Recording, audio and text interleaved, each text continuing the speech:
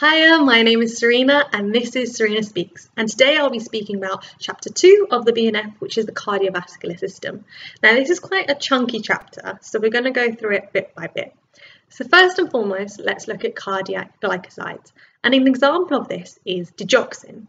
Now, digoxin is a high-risk medicine and other ones include lithium, theophylline, and with your high-risk medicines, it's best to look out what they do, what side effects are associated with them, what um, limit, what range is safe for them to be in, and when in terms of toxicity, what signs and symptoms a patient may present.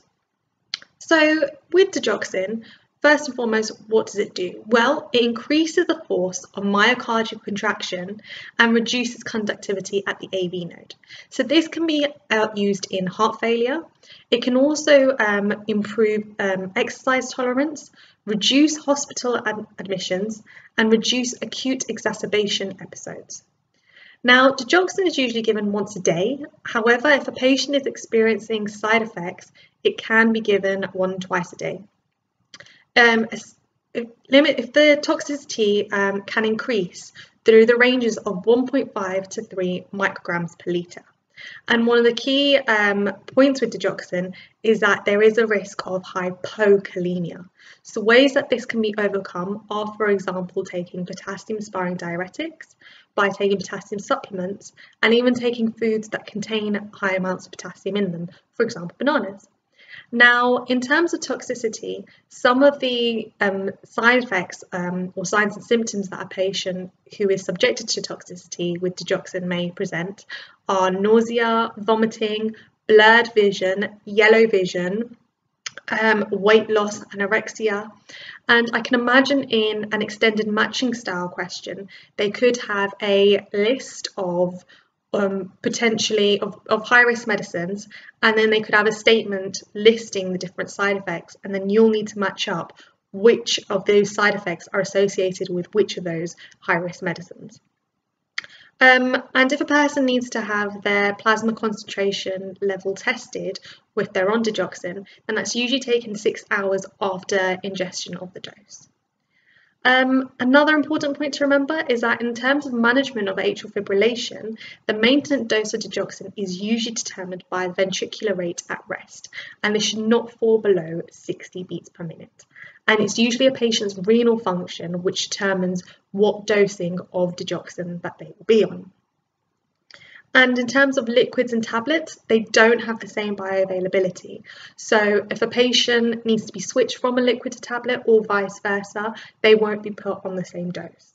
And back again with toxicity, um, if a patient does have digoxin toxicity, then they're usually treated with a digoxin specific antibody fragment, otherwise known as So that's digoxin. So now let's look at diuretics. So there's two main types of diuretics. There's your thiazides and your loop diuretics. Now, your thiazides, they can be used in um, edema, cases of edema, and they can also be used in hypertension. So in the case of, for example, benzoyl a dose of 2.5, that usually indicates that it's being used for hypertension. Any doses higher than that is usually used in terms of edema. Um, usually that edema is due to chronic heart failure. Now you have your loop diuretics. So examples include furosemide, bumetanide, and that's used in pulmonary edema due to left ventricular failure.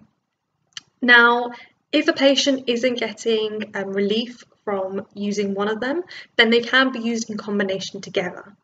Um, and this is usually the case with patients that have resistant edema. In terms of elderly patients, usually they should be given low doses because they are more susceptible to side effects and they shouldn't really be used on a long-term basis um, to treat simple gravitational edema, which could be treated by methods such as increasing movement, raising the legs, or even using compression stockings. Now with thiazides and loop diuretics, there is a risk of hypokalemia, and this can be overcome by using something like a potassium sparing diuretic. Now, preferably, they should be prescribed separately. However, if compliance is a problem for the patient, then they can be used in a combination therapy, for example, in the form of co-amilofruse or co-amilozide. So I want you to imagine the kidney and specifically the loop of Henle. So you have your proximal convoluted tubule, you have your loop of Henle, you then have the distal convoluted tubule, and you have your collecting duct. Now loop diuretics act on the loop of Henle, so that's easy to remember, loop and loop. And thiazides act on the um, distal convoluted tubule, and they inhibit sodium reabsorption. Now thiazides are quite fast acting, they act usually within one to two hours and they last for about 12 to 24 hours and preferably they should be given in the morning to prevent any diuresis, so having to frequently go to the toilet, particularly at night time. In terms of hypertension, which we'll focus on a bit more later on, um, the, thi the thiazide diuretics that are are preferred um, for hypertension are indapamide and chlortalidone. And chlortalidone has quite a long duration of action, so it's usually given on alternate days. General cautions with diuretics is that they can exacerbate conditions, for example, gout and diabetes. And a patient that is on diuretics, they need to, one of the key monitoring is their electrolytes because of that risk of hypokalemia. Now, I want you to think of the different classifications of um, chronic, chronic, kidney disease, um, which is in the beginning chapters of the BNF, and I think it's prescribing in renal impairment. And it goes from normal to mild, moderate, severe, and established. And if a patient has moderate um, or, or moderate or severe or established um, kidney failure, then they ideally should not be given thiazides. They should be avoided as thiazides are ineffective in these cases.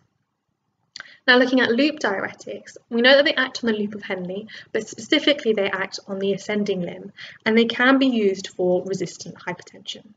So as we mentioned before, we have furosemide and bumetanide and a side effect, particularly of furosemide, is deafness especially when it's infused too quickly um, and it exceeds 4 milligrams per minute, then there is that risk of deafness. And with bumetanide, it can cause myalgia, so muscle pain. They both act within one hour and they usually last for about six hours, so they can be given twice a day without affecting sleep. Moving on to potassium sparing diuretics and aldosterone antagonist. So an example of a potassium sparing diuretic is amiloride. An example of an aldosterone antagonist is spironolactone. Now, amiloride on its own is quite weak, so that's why it can be given in combination with thiazide. And one of the key side effects of amiloride is that your urine can look blue in some lighting. Um, now, potassium sparing diuretics, if they're given with an ACE inhibitor or an angiotensin II um, antagonist, there is a severe risk of hyperkalemia. So that's something to be aware of.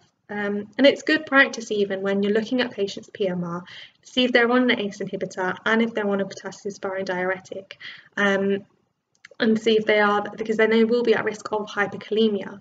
Um, so it would be worth checking to see if they're experiencing any symptoms of hyperkalemia. When was the last time they had their electrolytes monitored, particularly their potassium, their potassium levels? Now, um, that's all that I'm really going to focus on diuretics. I think that was that's a good summary of it. Um, so now let's focus on arrhythmias. So antiarrhythmic drugs and atrial fibrillation, it's quite a chunky subject in the BNF and it does take a while to go over it and understand it fully. But in summary, a person who has atrial fibrillation, they need to be assessed for their risk of stroke and thromboembolism and potentially even thromboprophylaxis needs to be given to these patients. Now there's two main points to remember. There's ventricular rate and there's sinus rhythm.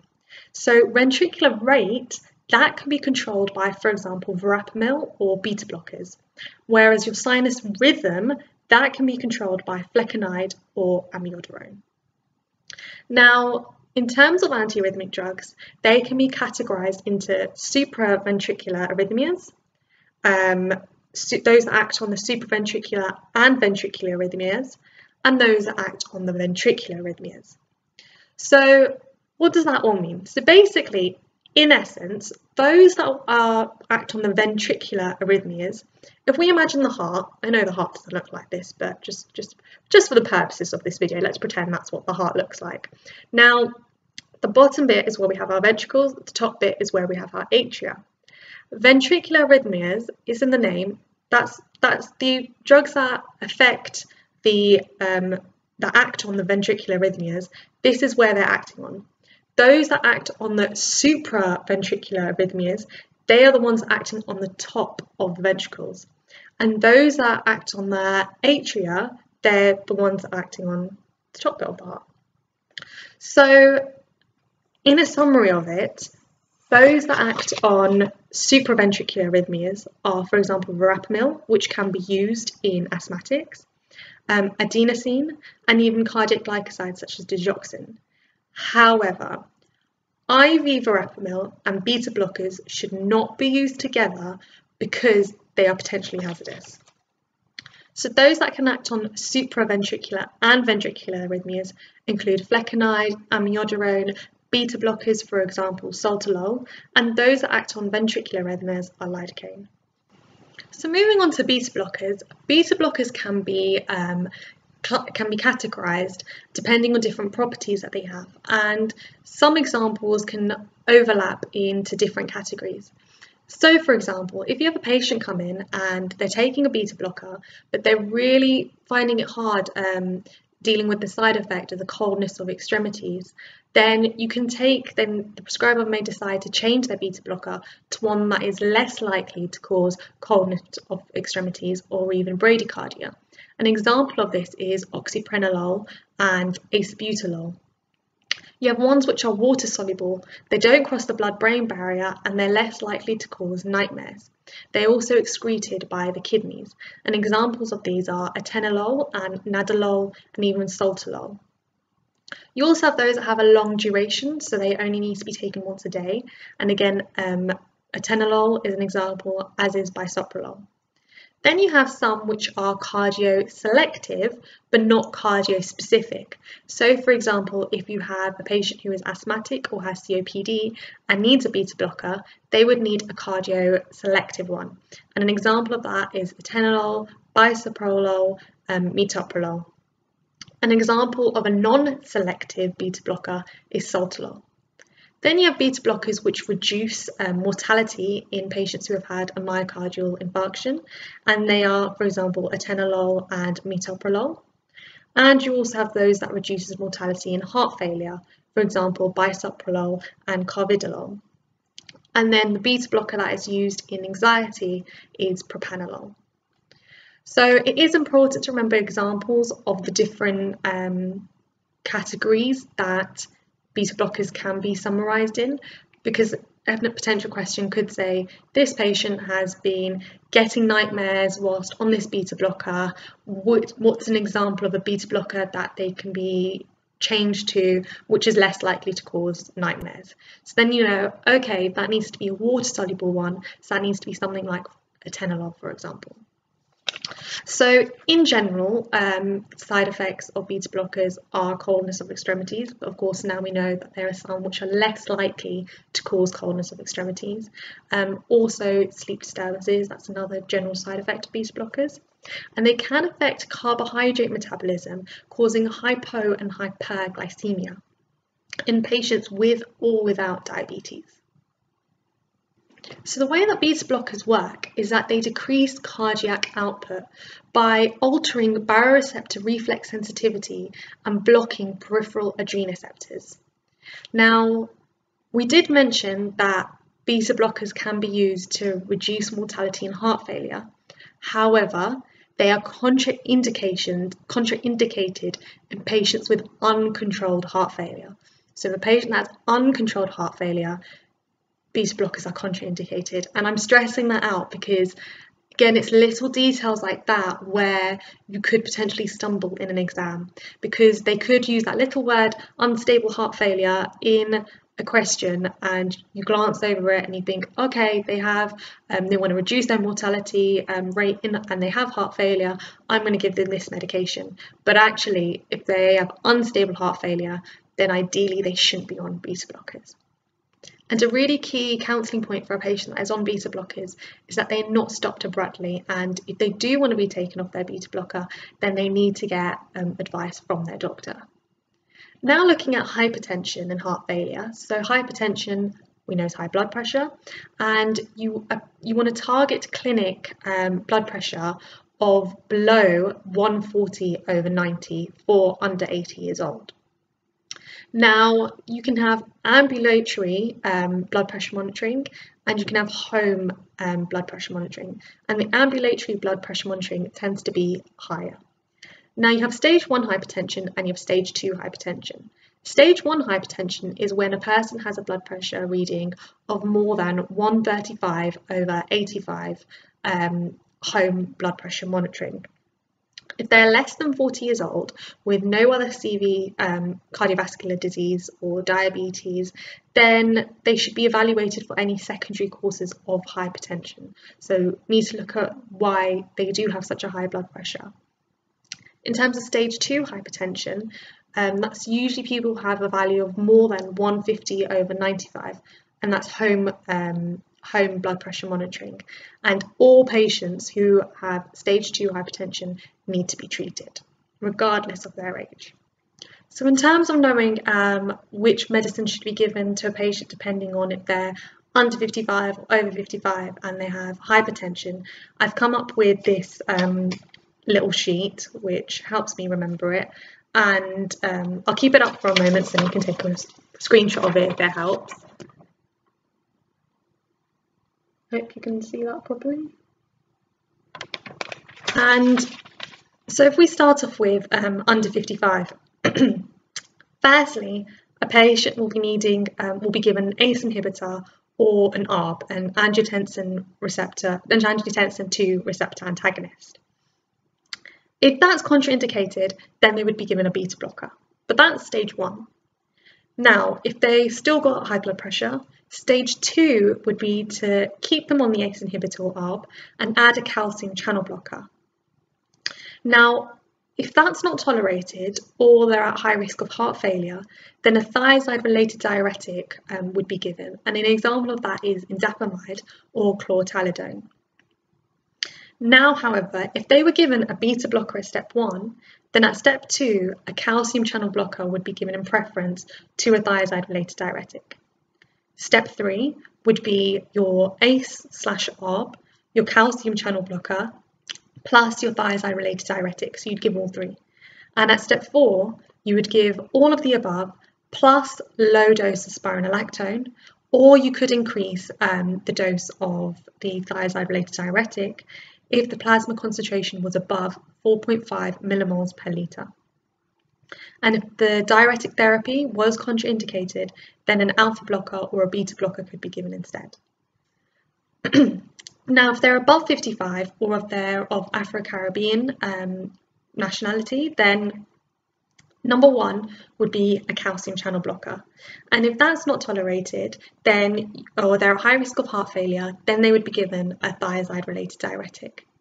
At step two, they would be on the calcium channel blocker or the thiazide diuretic, related diuretic, plus an ACE inhibitor or an ARB.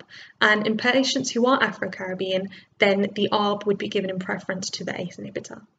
Then step three and step four are the same for what it was for someone who's under 55. So at stage three, they would be given the calcium channel blocker, the ACE inhibitor slash ARB, plus the thiazide-related diuretic. And at step four, they would be given the above, plus a low dose of spironolactone or increasing the dose of the thiazide-related diuretic. And in terms of pregnancy, um, the that, well, in terms of pregnant person who has hypertension, the drugs of choice would be methyl-dopa or labetalol. So now other classifications of antihypertensive drugs includes vasodilator antihypertensive drugs, centrally acting hypertensive drugs, um, adrenergic neuron blocking drugs, and alpha adrenoceptor blocking drugs. So um, vasodilator antihypertensive drugs have a very potent effect, hyper, very potent hypotensive effect. An example is hydralazine. Your centrally acting hypertensive drugs are, for example, methyl-dopa. And um, your alpha adrenoceptor blocking drugs, examples of that are prazosin, doxazosin, and the first dose um, can reduce blood pressure quite rapidly, so it needs to be introduced with caution. So if we go into more of ACE inhibitors, so ACE inhibitors, the way that they work is that they block that angiotensin 1 being converted to angiotensin 2. So that's where the ACE inhibitors work. And they indicated in heart failure, in hypertension, and even in diabetic nephropathy. So in patients who have diabetes, they're more at risk of getting um, problems with their kidneys, and the ACE inhibitors can help in preventing that. So, caution um, in patients taking diuretics because they do have a hypotensive effect. And a main side effect with ACE inhibitors, um, there's two. There's hyperkalemia, so high potassium levels, and the second one is a dry cough.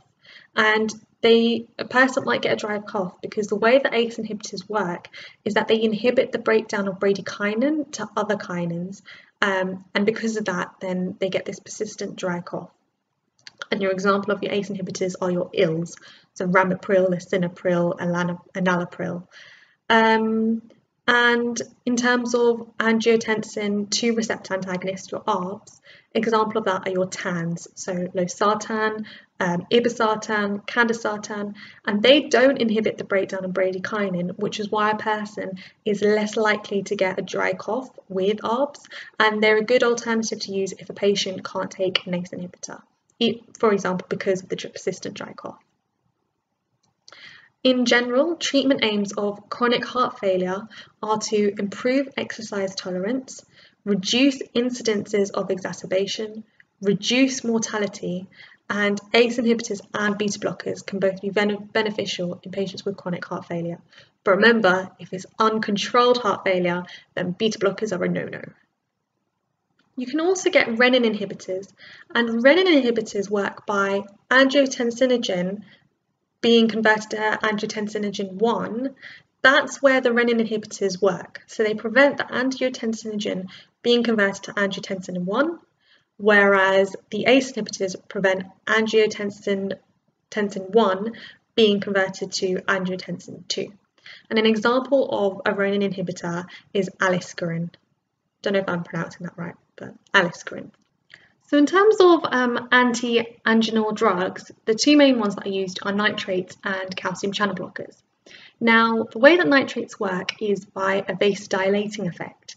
And because of this, they can be beneficial in heart failure because they will improve cardiac output. Now, I think um, nitrates are a good example of a medicine where the way it works, the mechanism of how it works, relates to its side effects. Um, so, for example, nitrate side effects include flushing of the skin, headaches, postural hypotension, and it's a good note to make that it's too hard to remember an extensive list of the most common side effects, the least common side effects, the rare side effects for every single drug. But if you know the mechanism by which a drug works, then it's easier to relate um, to its side effects, and nitrates are a classic example of that. So with nitrates, um, some people who have angina will be taking sublingual um, GTN, glycerol trinitrate. So they might be taking this in the form of a tablet, a 300 microgram tablet, as a patch or as an aerosol spray. It provides rapid symptomatic relief of an angina attack um, or of, of angina and it can last between 20 to 30 minutes. And a key point with GTN tablets is that they expire eight weeks from opening it. Um, now with isosorbide mononitrate, which can also be used, it uh, can come as modified release preparations. And with most modified release preparations of medication in general, that usually means they should be a 12 hour gap from the first dose and the second dose. However, isosorbide mononitrate um, is different to that in that it should be if from the first dose to the second dose it should be an eight after eight hours that the second dose should be given. And the reason for that is that a person that's on isosorbide mononitrate they need to maintain a nitrate free period. Then this will then help to reduce um, tolerance decrease the risk of developing tolerance to nitrates So calcium channel blockers, examples include amlodipine, felodipine, and again the side effects associated them are to do with the vasodilating effects, so flushing, headaches, and a lot of people who are newly prescribed um, calcium channel blockers tend to get swelling of the ankles as well. So if a patient is newly prescribed a calcium channel blocker, um, it's worth making it aware to them that these are the certain side effects that it could um, potentially get from calcium channel blockers. Other calcium channel blockers include verapamil and diltiazem, and diltiazem is one of those few medicines where a patient needs to stick to the same brand. Sudden withdrawal of calcium channel blockers can be associated with exacerbation of angina. Um, other antianginal drugs include nicorandil, ivabradine, and ranolazine. Now, nicorandil, a big side effect with that is ulceration, um, and it helps prevent um, long-term, it's used in the prevention and long-term treatment of angina. And it should be established that driving is not affected in a person that's taking nicorandil. Ivabradine lowers the heart rate, and ranolazine can be used as an adjunctive therapy in patients who are inadequately controlled or intolerant of the first-line anti-anginal drugs. Now, very briefly, just going to touch upon sympathomimetics. Now, sympathomimetics can be affecting um, either alpha or beta adrenergic receptors, and adrenaline acts on both. So it can increase heart rate and contractility, which is a beta 1 effect. It can cause peripheral vasodilation, which is a beta 2 effect, or it can cause vasoconstriction, which is an alpha effect. You have ionotropic sympathomimetics, such as adrenaline, and you have vasoconstrictor sympathomimetics, for example, noradrenaline. So anticoagulants and protamine. Um, anticoagulants work in the venous side of the circulation in preventing thrombus formation. And VTE, from venous thromboembolism, can be characterised into two main types. You have deep vein thrombosis, DVT, and you have pulmonary embolism, PE. Now, all patients that go into hospital are assessed for their risk of um, venous thromboembolism. And those that are at high risk are those above 60 years old, um, those that have limited mobility, patients who are obese, or patients have a history of VTE. And it's important to look at their risk of bleeding versus their risk of um, throm venous thromboembolism. Now, um, low molecular weight heparin can be used in general or orthopedic surgery. Unfractionated heparin can be used in patients have, who have renal failure and fondaparinux can be used in patients who have um, either hip or knee replacement surgery. And the same goes with those um, the newer oral anticoagulants, the NOACs, which are dabigatran, apixaban, and rivaroxaban. They can be used in um, thromboprophylaxis following hip or knee replacement surgery. An example of mechanical prophylaxis are your anti-embolism stockings. So looking at parenteral um, anticoagulants, heparin is very fast acting, um, has a rapid onset of action, and has a very short duration of action compared to low molecular weight heparins. And they're usually used in preference, um, preference who are at high risk of bleeding because their effects can be terminated a lot quicker. Patients who are pregnant can take heparin because it doesn't cross the blood, um, the doesn't cross the placenta. However, um, low molecular weight heparin is preferred.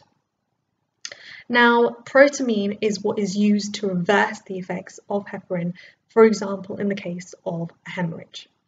Example, um, examples of side effects of heparin include heparin-induced thrombocytopenia and hyperkalemia. Now, low molecular weight heparins are used in preference to unfractionated heparins in the prevention of VTE and in the treatment of DVT and PE. And examples of these are enoxaparin and tinzaparin. And they're usually used once a day as they have a long duration of action. So moving on to other oral anticoagulants, an example is warfarin, and warfarin works by antagonising the effects of vitamin K.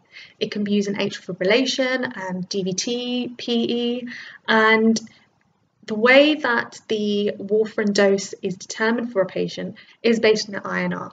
Now, I'll be honest, it took me a while to understand what INR was, and the best way that I remember it is I think of INR as runniness. And if you have a if a patient has a high INR, that means that their blood is very runny, so they are more at risk of bleeding. Whereas if they have a low INR, their blood is less runny, so they're at lower risk of bleeding. So it usually takes 48 to 72 hours for warfarin to have its full effect, and it should be taken at the same time every day. Now you need to know what the target INRs are depending on what condition the patient has. So for example, an INR of 2.0 is usually for patients who have um, atrial fibrillation, DVT, PE. Um, an INR of 3 is usually for patients who have mechanical aortic valves. And an INR of 3.5 is for patients who have recurrent DVT or PE. Now, a patient who is starting on warfarin, they might be the INR might be monitored daily or on alternate days, and eventually the intervals for monitoring will get longer, and and it goes usually up to every then 12 weeks. Now, the main adverse effects of um, warfarin is hemorrhage, and the antidote for it is phytomenadione, which is vitamin K. Um, and warfarin should be stopped five days before elective surgery. So elective surgery is when you know you're going to, when you've pre-booked that you're going to have surgery for that day. A patient who's rushed into A&E and needs to have surgery, that's not elective surgery because they weren't planning on having surgery that particular day. So if it's elective surgery, i.e. they've pre-planned, they've pre-booked that they're having surgery that day, they need to stop taking their warfarin five days before that. Now, warfarin has a half-life of 36 hours, whereas the new oral anticoagulants, the NOACs, they have a half-life of around 12 hours. So missing of dose of a NOAC is, is, is quite, quite severe. Um, also, um, warfarin is cleared hepatically, whereas NOACs are cleared renally. So all NOACs are contraindicated in a patient with renal impairment. And in terms of stroke assessment and bleeding risk, Stroke assessment, stroke risk assessment is um, identified using the CHADS VASC score, and you look at a person risk of bleeding using their HAS bled score. Another point to remember is that the risk of bleeding with aspirin and warfarin is less than that with clopidogrel and warfarin. So moving on to antiplatelet drugs, um, examples include aspirin, clopidogrel and dipyridamole. So aspirin 75 milligrams once a day is usually given long term to a patient, usually for life if they have um, cardiovascular disease. Um, and a note to make with dipyridamole is that it can come as a modified release preparation and it expires six weeks after opening it. Now, if a person has a transient ischemic attack, then initially what they need to be given is alteplase, um, especially 4.5 hours. Um, it should be administered 4.5 hours when symptoms um, are first present. They will then be given aspirin, the 300 milligrams, um, once a day for 14 days, and if that, and then they'll be given clopidogrel long term. However, in the case of a heart attack, for example, um, a person who first has symptoms, onset symptoms of a heart attack, they should be given aspirin 300 milligrams straight away. If that's not tolerated, then they can be given clopidogrel 75 milligrams. The BNF also looks at um, the long-term management treatments for a patient who has had a heart attack, whether that be STEMI versus NSTEMI, and, and the management of stable angina. I think the BNF covers it quite well and in detail for those segments, so I'm not really going to touch upon them, especially because that for STEMI and NSTEMI is quite similar as well and quite self-explanatory. So I'm going to briefly touch upon antifibrinolytic drugs. So an example is tranexamic acid, and that works by inhibiting fibrinolysis. And anything with the word olysis at the end means to break down. So it is used to prevent bleeding, for example, in surgery, dental extraction, or in menorrhagia. Moving on to lipid regulating drugs, so our statins. And statins should definitely be considered for people who are over 40 with diabetes. Now, we know we've got simvastatin, um, pravastatin. Pravastatin should be avoided in pregnancy um, and even in um, those that are breastfeeding.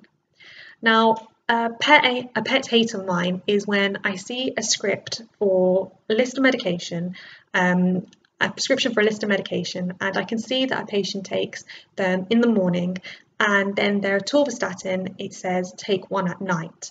And the reason that annoys me is because atorvastatin and rosuvastatin do not need to be taken at night time.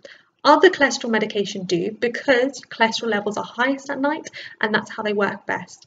However, atorvastatin and rosuvastatin have a longer duration of action and therefore they can also be taken in the morning. And I think if you can take your medicines in the morning, especially if all your other medicines are being taken in the morning, and then you've just got that atorvastatin to remember to take at night time, so long as obviously there's no other interactions or contraindications and that it's safe to take in the morning, then they should just take it in the morning. It will increase their compliance. They won't have to remember about taking on later on. They just take it all in the morning and, you know, remember it, be done with it, and sorry that's just my that's just my little pet hate. But yes atorvastatin rosuvastatin they can be taken so long as they're taken at the same time every day they don't necessarily need to be taken at night time. Whereas something like simvastatin that does need to be taken at night time. So the way that they work is they competitively inhibit the HMG CoA reductase and um, the main side effect that people experience with statins is myalgia, so muscle pain, and even altered liver function tests. So if a patient is, um, if you want to monitor their side effects, for example, they're getting um, all this muscle ache, muscle pain, then you want to measure their creatinine kinase. Whereas um, if you're just measuring their statins in general, just to see how they're getting on, what their liver function test um, is saying, how it's having an effect on their liver, then you would need to measure their alanine transaminase, their ALT. So for monitoring side effects, creatinine kinase. If you're just monitoring statin therapy in general, then it's alanine transaminase. And the main counselling point for statins is for a patient to report any unexplained um, muscle ache, muscle pain. And ezetimibe, ezetimibe can be used in conjunction with a statin if that statin therapy is um, is failing or if a statin is unsuitable. And it works by inhibiting intestinal absorption of cholesterol. So that's the cardiovascular system. It is quite a lot to take in, but if you take each section at a time, bit by bit, it'll make it a lot easier to absorb and understand. Um, I hope this video has helped. I hope this video will at least provide a foundation for you to build your knowledge upon. Um, and if you liked it, then please give it a thumbs up, give it a like, please subscribe, please share, please visit our Facebook page, and I will be releasing new videos every Thursday, um, and hopefully you're enjoying them. So until next time, happy revisings.